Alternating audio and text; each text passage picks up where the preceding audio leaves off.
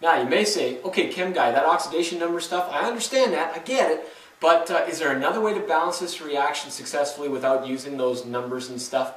Okay, there is. Now that doesn't mean that, that this method, which sometimes I do prefer, it doesn't mean it takes the place of understanding oxidation numbers because you may be just asked in a question, hey, what substance here in this reaction, it's always in the reactant side, what's undergoing oxidation?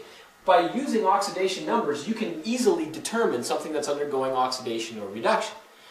But this is called the half reaction method, where you break this equation down into two half reactions and then you build your own half reactions. Now watch how this is done.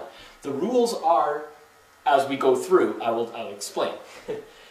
what we're going to do is we're going to take two principal chemicals in here and break them down into half reactions. Well, look at look at this Mn. We know that MnO4 negative here has to somehow turn into Mn2 positive. So we write MnO4 negative turns into Mn2 positive. Uh, hydrogen and oxygen are not necessarily the principles in any reaction. It's the other elements that look kind of different from reaction to reaction that we actually split up. Fe has to turn from 2 positive to 3 positive. With that, we've got two half reactions now we're going to add together to get this net reaction. We are. But it doesn't look like, well, where, where's this going to go? Is this going to go in this one? Is this going to go in this one? Now, it's okay. You make your own. Watch how you do that. When you need oxygen, you add water. When you need hydrogen, you add H positive. And then, in order to balance the charges, you add electrons. So follow those three rules and everything works out great. Here's how it goes. I have a half reaction here that doesn't have oxygens on this side. When you need oxygen, add water. Oh, yeah, but wait a minute, there's four O's here. We're going to put four H2O's in front, and now you've got the oxygens balanced. Oh, yeah, okay, well, now I've got hydrogens on this side, but none over here. When you need hydrogen, add H positive. Okay, add H positive. Oh, yeah, get it? Okay. Now, you've got to balance with charges.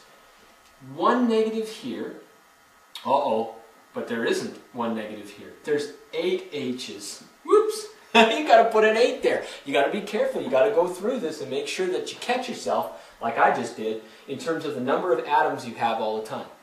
Now, that's 8 positives and 1 negative is 7 positives on the reactant side, but only 2 positives here on the product side. So what do you do? You actually have to add negatives to which side?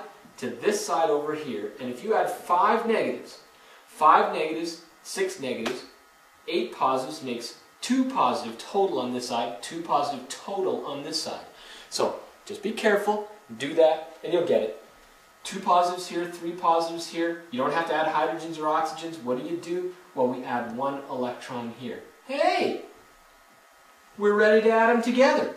But look at, just like we discovered with the oxidation number balancing of this, you've got one electron here and five here. And so you take this whole half reaction and you multiply it by 5. So you can have 5 electrons here canceling 5 there. Electrons have to cancel out for the net reaction completely. And then of course you get the 8, well, when we add these two reactions together, we're going to get the 8 in front here, the 5 here, the 5 here, and the 4 here that we did in our last example. So, this is a reduction half reaction, oxidation half reaction. The two are added together to give you this net redox reaction. So let's practice another one. But now we have to balance in a base.